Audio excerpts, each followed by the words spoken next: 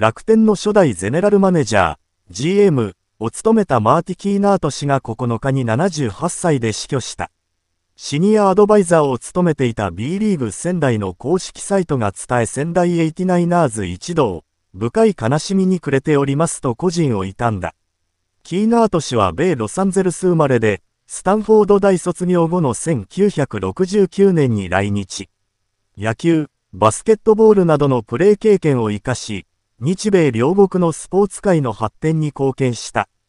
4年10月、創設間もない楽天の GM に就任。NPB 参入初年度の5年4月下旬に球団アドバイザーへと転身し、球団社長補佐なども務めた。18年に仙台のシニアアドバイザーに就任した。楽天は公式 SNS で、20年の長きにわたり、我々と共に楽天イーグルスの発展にご尽力いただき誠にありがとうございました。